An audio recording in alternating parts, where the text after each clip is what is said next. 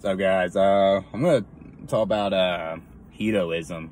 I don't know if I said that shit right, or hedonistic, you know what I mean? But I kind of live like that in some way. I kind of live for the pleasure of, uh, pleasure of things that make me feel good, you know?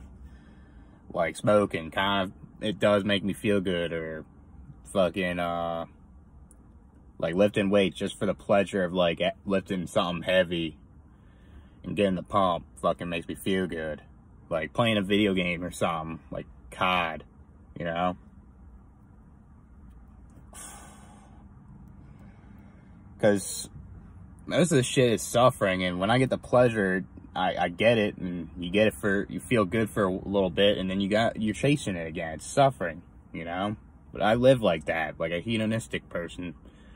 Like when I used to go, when I went to college, I would fucking drink almost every weekend, and I would do it for the pleasure. Hmm, it would make me feel good. My anxiety's going, my depression is fucking going. You know what I mean?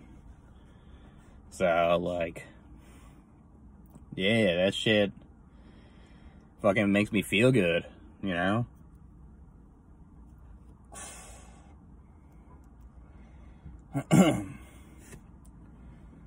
like anything that makes makes makes you feel good like like that's how I kind of live in some way, you know.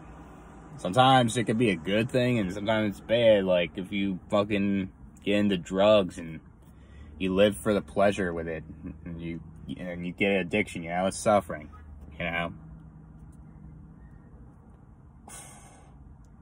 Like that's that's how I'm. Like I'm not trying to do that. Like fucking get addicted, but like I just live like that until I'm dead for the pleasures and all that shit because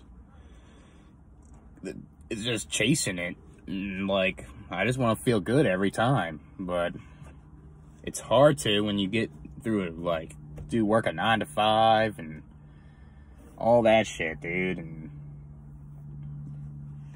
like, like you get, you guys get what I'm saying.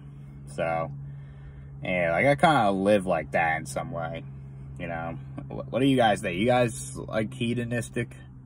Or like in my other video, you guys a little bit sadist? You know, like I feel like I'm a combination of both in some way. I'm not like a huge sadist like fucking most people, but I think you gotta be pretty insane to be a extreme sadist, in my opinion. I don't know. So, I'll catch you guys with uh, another video.